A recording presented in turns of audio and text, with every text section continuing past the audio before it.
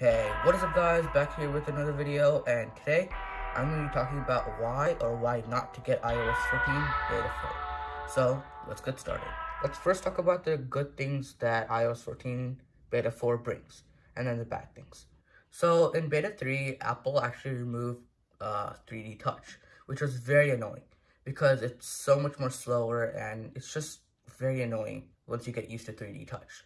So, in Beta 4, they actually got it back which is so much more better and faster. I was missing it for a long, long two weeks. Thank you, Apple. Let's talk about the next thing. So I'm in the middle of editing iOS 14 Beta 4, but in iOS 14 Beta 3, actually Apple added the back tap feature on the iPhone 8, 8 Plus, and iPhone SE 2020. So let me show you. Double tap brings Control Center, and triple tap is Google Assistant. I set it up for that, so pretty fast. Not as fast as I like to be, but it's pretty fast. Apple actually got another widget uh, called the Apple or TV widget. People who use Apple TV will really like it. Otherwise, it's just a normal widget that no one else is going to use. So in iOS 14 Beta 4, uh, Apple actually changed the weather app a little bit, or the icons in there. The thunderstorm looks a bit more cartoonish, if you ask me, and the sun is on the opposite side of the cloud. But those are just some small little details that literally no one cares about.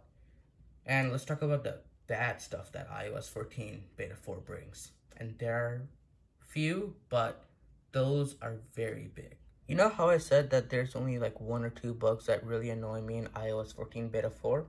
Well, yeah, and there's only one in particular that really annoys me, and that is app crashes. App crashes happen basically every single time I try to open my phone and go to an app. So in this case, settings, no, weather, no. Of course, it won't happen when I'm recording a video or showing it to someone else, but it happens all the time. And if that's a deal breaker for you, do not get iOS 14 Beta 4. But yeah, that's basically all for iOS 14 Beta 4. And yeah, if you like this video, like it. If you love this video, sub to the channel be really great.